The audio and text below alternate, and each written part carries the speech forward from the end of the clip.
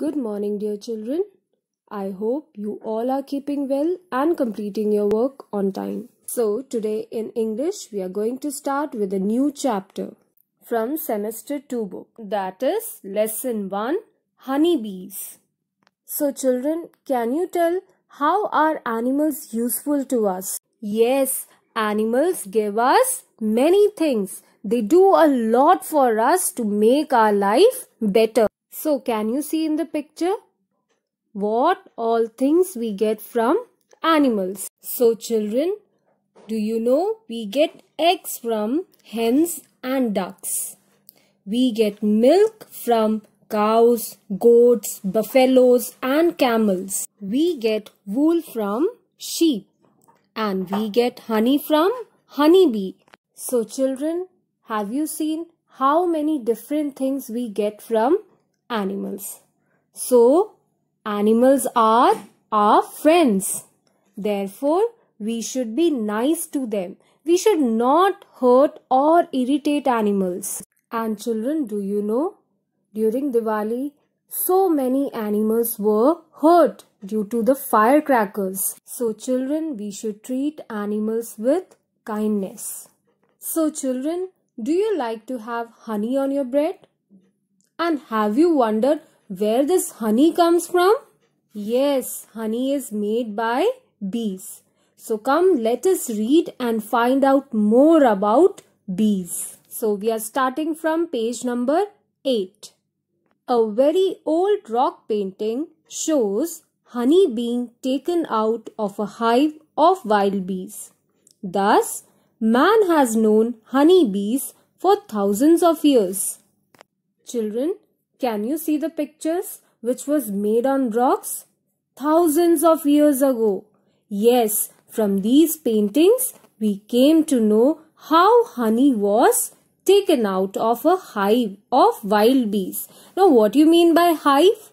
Hive is a place where bees live in, like you live in a house, and honeybees live in hives. Now, page number 9.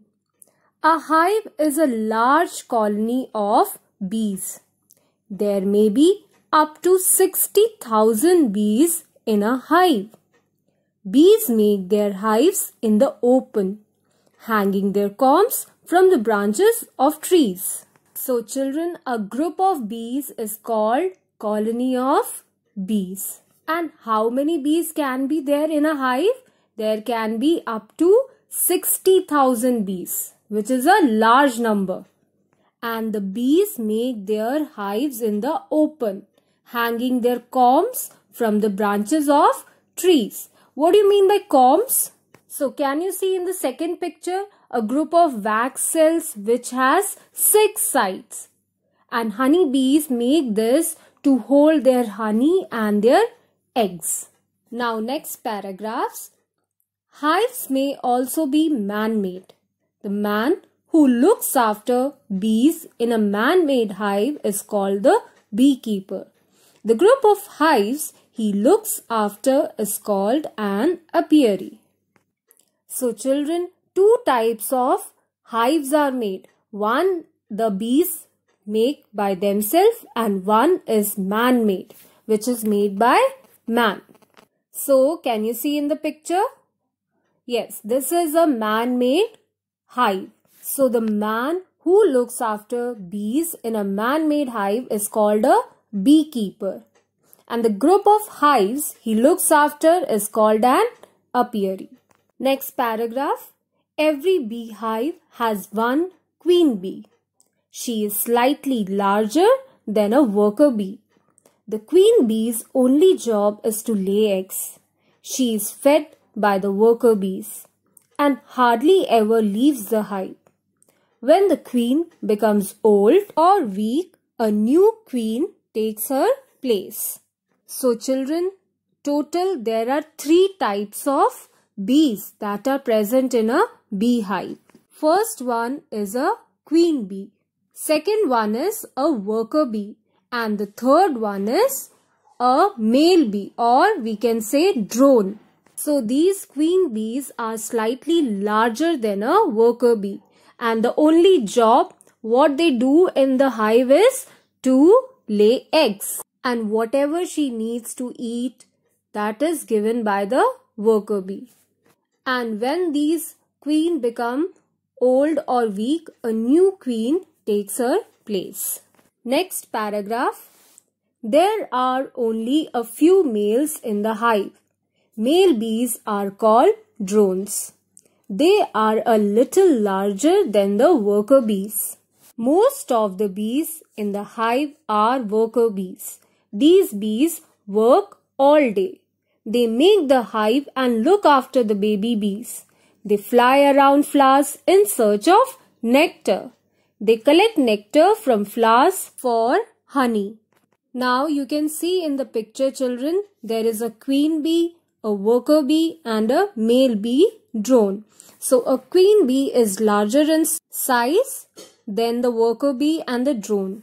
And you can also see that these drones are little larger than the worker bees. So children, the worker bees work all day.